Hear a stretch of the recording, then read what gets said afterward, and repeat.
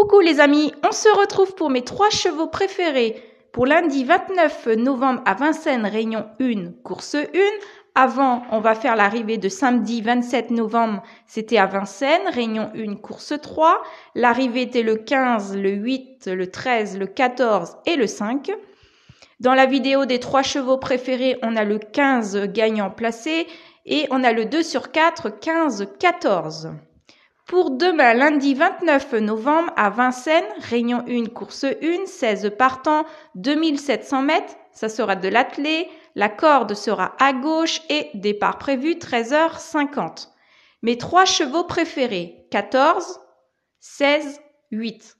14 gagnants placés, 16 gagnants placés, 8 gagnants placés. Ça, c'est pour les joueurs de simple gagnants placés. Pour les joueurs de couplet gagnants placés, vous pouvez les faire en flexi moins 50%, 14, 16, 8 en couplet gagnant placé et les joueurs de 2 sur 4, pareil. Vous pouvez aussi les faire en flexi moins 50%, 14, 16, 8 en 2 sur 4.